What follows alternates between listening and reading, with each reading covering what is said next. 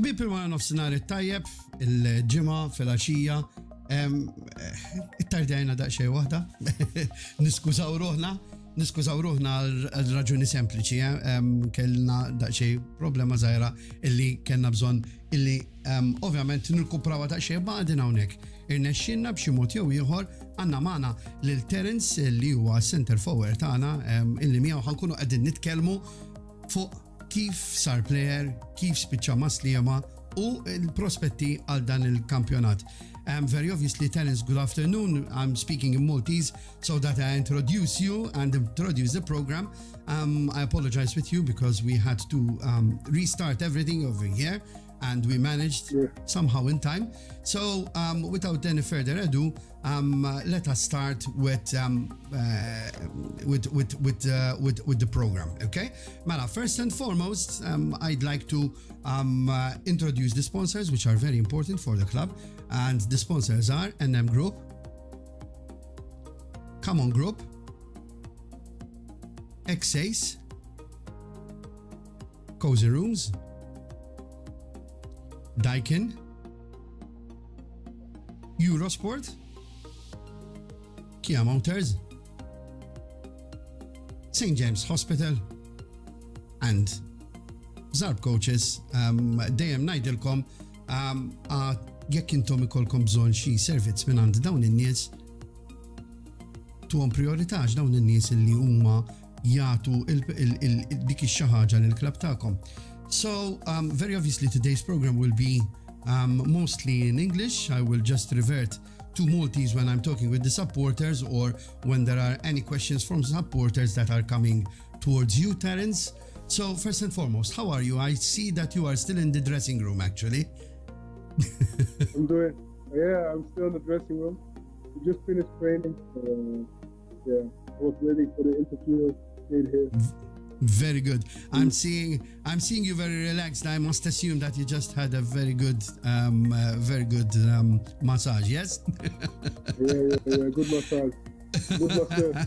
we came to the club. So we, we uh, no, no, no. Everything, every little helps. Every little helps. You know that, uh, the, the, as I always say. So, um, let us start by um, telling our people, the people who are watching us, who Terence is. Terence was is a forward, okay? Um, he was born on the 16th September 1996. He's 26 year old years old. I'm sorry, Terence. I'm telling everyone how old you are, so I apologize for that. You know, nationality. He's uh, from Aruba. He has played in Germany and the Netherlands, um, in various various clubs actually, and in Malta as well. He has played for Aruba national team. Um, even lately, if I'm not mistaken, yes? Sorry? Left, left even lately you have played even lately you have played uh, with the national team of Aruba, yes? Yeah, four, four months ago. Four months ago. Uh-huh. No. Exactly, four yeah. months ago in June, if I'm not mistaken, you played in against Saint yeah, Martin, yeah. and your goal um, was decisive to win against Saint Martin. Yes. Exactly. Yeah. Exactly. You see, I made my I made my research, so you know. two goals, two goals, and one of them was particularly beautiful. I was reading, you know, that one of them was particularly beautiful. How was it? Can you tell us how was uh, the, this beautiful goal? Yeah. Well, was a good action from the side from my okay. uh, left winger, uh-huh. and I just was on the right place and at the right time. In the, in the far corner. So, yeah, yeah, it was good. Yeah, very good. Uh, next time I will try to see how the hell I'm gonna get this goal so that we will show it over here while doing this, uh, doing this, this, an interview. You know. So can you yeah. run us through how did you get to play football, Terence? I mean, you know, I mean it's it's the dream of every other boy in this world, you know, to play football yeah. professionally. Well, I started playing football when I was very young. I think three years old. Mm-hmm. And, uh, my, my neighbor, uh, he played for Ajax, and uh, okay. the Ajax youth. I think he was 10 years old, uh-huh. and uh, he had a little brother of my age. We were the same age, also three years old. So mm-hmm. he always brought us outside, and we played football together.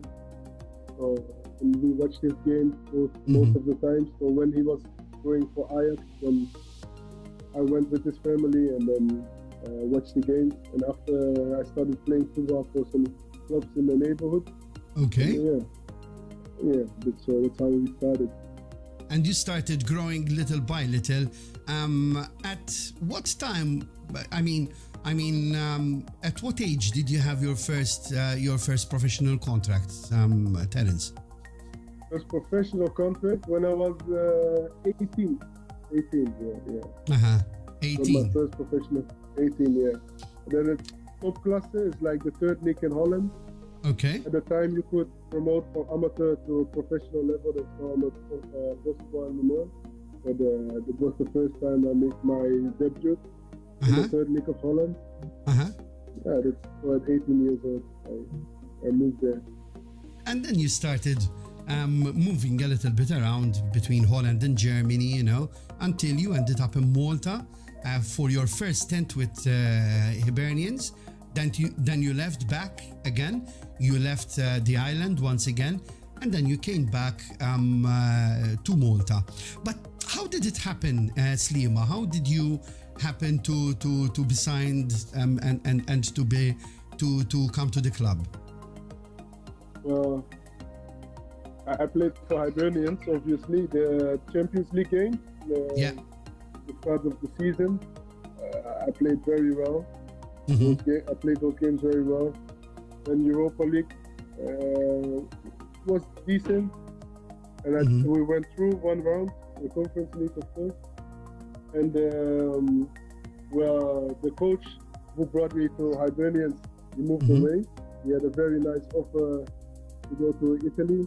So Yeah, yeah, I remember. Good luck. And uh, new coach came. I brought some new players with him, new plans, hmm and uh, obviously I spoke with uh, with him, and he came from Sliema, and Mhm. uh, he said like uh, it's a beautiful club. So I spoke with the coach of Sliema after, and um, the plan sounded perfect in my ears, and uh, it's a very big club with uh, a lot of glory and prices, of course, and like a lot of a big fan, fan base. And I think what, one of the most uh, I don't know how to say it in English, but with the most cups and, and titles in Malta. Yes, yes, yes. Trophies in So, uh, Malta, so- actually. Yeah. So yeah, yeah. So it's an honor to play for this club, of course, and and bring them back to the first league. That is what every player uh, came to do here, and I Mhm. think that's a great plan, and we are on the right track at the moment. So I am more than sure that we are. I am more Yeah. than sure that we are. Um, so let's imagine this guy coming in, you know, coming the first time to the training sessions with Sliema. Was there something that impressed you particularly of the club when you were arriving there? Apart from the fact that it's Uh, very difficult to park in Sliema, let's forget about that. yeah, yeah, very very difficult to park. it. Almost impossible, eh? Almost one hour. impossible. Yes, I, I yes, think yes. I, I think I'm searching longer for a parking spot than we are training. You know? Yeah. So what impressed you? No. Te. But uh, I- like the setup of the of the dressing room. Mhm. Very professional, uh, as you can see. Yeah? Yeah. The kid man, even the kid man is. Uh-huh. The kit manager Yeah, is a good. good guy. He's very good, very good guy, very good guy. Placing all the the clothes and everything. But it's yeah, and um, the, everybody's very professional. A lot of coaches. Like uh, I think we have four four coaches on the field every day. Mhm. Goalkeeper coach, um, assistant two assistant coaches, and uh, the head coach, of course. And we have a gym. Every, everything is here, so very Mm-hmm. Yeah, yeah. professional setup. yeah, yeah. Everything is around you, and whatever Yeah. you need, it's over there, you know, and that that helps a great Yeah. deal, yeah, for a player, yeah. And even when I'm hungry before, after training, uh, I can walk down and, and eat something. Indeed, that's about it, you know, that's about it. So, Yeah. um, that's very interesting. The shirt that you have on, it's of Lakers. We were talking about it before, you know. Yeah. I mean, um, uh, you follow basketball, and how did you know? How did you start, you know, following basketball? Like just out of curiosity. Uh, well, my uh, grandparents live in Uh-huh. the, the USA, in the United Uh-huh. States. So uh, yeah, that's how I started following basketball actually at a young age. Now it's more difficult because uh, of the time difference, of course. But uh, Of I like to of course. see the highlights of the game and uh, Mhm. see who won. Yeah, yeah, And from what I'm understanding, it's Lakers, yeah? yeah. yeah, Lakers, yeah, has, have you ever been to, to watch a Lakers game in uh, in the Staples Stadium? Unfortunately, not. No, I've never been there. It's one thing to do before you die, dude. Yeah, yeah, yeah, yeah, yeah. One of the things I need to do before I die, for sure. let's let's talk a little bit about um, last uh, last weekend's game uh, versus uh, versus San Ġwann. I know that you did not start the game. I know, but you were there. You could assess what is happening. What what is your take about the team? You know, especially when you understand that we were with ten people for a very good, Yeah, let's say, I- I think we- 80, 80 minutes. Huh? I think we started the game good, hmm and then a small, a small error, like a small mistake, can happen always in football. And then uh, we conceded the 1-0 behind, of course. Uh, we started off very happy, and um, then unfortunately the, our captain got a red card. But Mhm. um, I think the whole team managed to to stay positive and uh, have the right attitude, play uh, how we are supposed to play, and create a lot of chances. And when we, when we create a lot of chances, uh, you know, you was, we have the quality to score um, a few goals, Yeah. and that's what we did. And I think uh, the quality of the whole uh, quality of the whole team is that uh, everybody is willing to give not 100% but 110% when they are on the pitch and Yeah, even that's very true. if you you got you get stopped off you know that quality is Mhm. coming in so Yeah, yeah, So that- very. so you know you can give 200% and if you get stopped off that your teammate will give another 200% and I Of think course, of course, what, of what we see very clearly and that's how we take Mhm. the points now Um, judging, judging from from uh, from where you were seated um, during this game, and now you've been with the club for some time. Don't you think that sometimes we leave, um, uh, we we let over here? I just saw Rashid doing a fantastic save, even though then they scored. But over there, Rashid did a fantastic save. But whatever the case, um, don't you think that sometimes we let the opponents too much in the game, Rashid, uh, uh, Terence? We need to start closing the game a little bit before. What do you think? I think, yeah, we get a lot of chances. Sometimes we have to score faster, I think, Mhm. for sure. But um, of course, because they play against Lima, you see that Yeah. every team is playing on on the highest potential and with so much. Uh, Yeah. we, uh, yeah, we play with the pressure every game. But I think, for me personally, I like to play with pressure every game. So uh, I think the rest of the team as well. But I think, um, of course, they get a lot of confidence, but uh, because they they sit back most of the time, and we have to create the chances. Um, that sometimes we leave the ball for them, so we get more Yeah. space for ourselves to to create more space behind the lines, so we can have the fast attacks. Because if they get back on the 16 the whole game, it's very difficult to score. But, uh, Let us see we what. concede the goals, Uh-huh. That is not what we try, but to draw them a bit, a bit, a bit to, uh, Yes. to our side of the Yeah. pitch, and then counter attack. Sometimes this is uh, this is better for for the game. Yeah. and we have the players to do that actually let me Yeah, see a little exactly. bit what uh, what uh, what uh, our supporters are saying so freddy tanti he's watching us from norwich from england you know Uh-huh. that's good yeah, Yeah. We're international man. International. Yeah, yeah. we're international. Kyle Gregg um, sends his regards. He says in Maltese literally kif aħna sieħbi I don't know if you know what kif aħna sieħbi is in Maltese but that means how are you? Um, uh, probably he's telling us both you know so um, so I can assure you Kyle that uh, Terence he's good. He looks very relaxed yo. So so so he's all prepared for for next game so Um, let us have a look as well at the sponsors. The sponsors are NM Group, Come On Group, X-Ace, Cozy Rooms, Daikin,